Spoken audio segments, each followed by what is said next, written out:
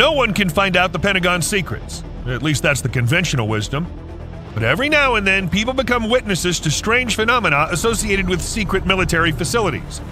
For example, relatively recently, a fishing vessel sailing across the Pacific Ocean towards Vancouver noticed an unidentified object in the sky that looked like an oddly shaped aircraft. But the object didn't move at all like a typical aircraft, and at one point it simply disappeared into thin air. The fisherman immediately posted about the encounter online, and the story became widespread enough that the Pentagon must have gotten a bit nervous. The military quickly reacted and leaked information that the object that fishermen had seen was a U.S. drone undergoing various aerodynamics testing. It seemed like a reasonable answer, but no one was buying it.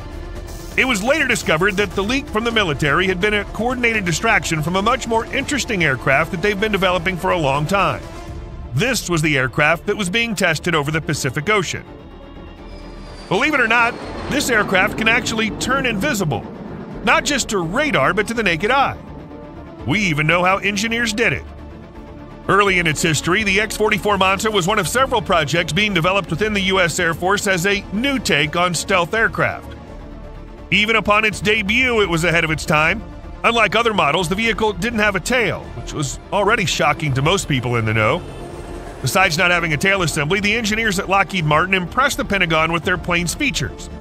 The Manta was originally supposed to be subsonic, but it turned out to be the fastest in its class, accelerating to Mach 1 in just 7 seconds. These results didn't go unnoticed, and developers didn't want to stop there. The Manta was given the ability to climb to 12 miles in altitude to scout vast areas with its unique high precision radar. And of course, such an amazing plane has to have the appropriate weaponry. Some brand new ultra fast hypersonic missiles and adjustable bombs should do the trick. And it has a significant amount of weapons carrying and payload capability According to the company, the X 44 was a futuristic version of the iconic F 22 Raptor fighter.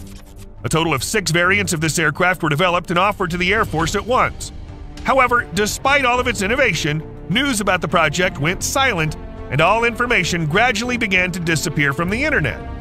Pretty strange, don't you think? The official word is that the Manta prototypes were approved by the military, but NASA was interested in the project as a research platform for testing tailless structures. That sounds like a bit of a stretch.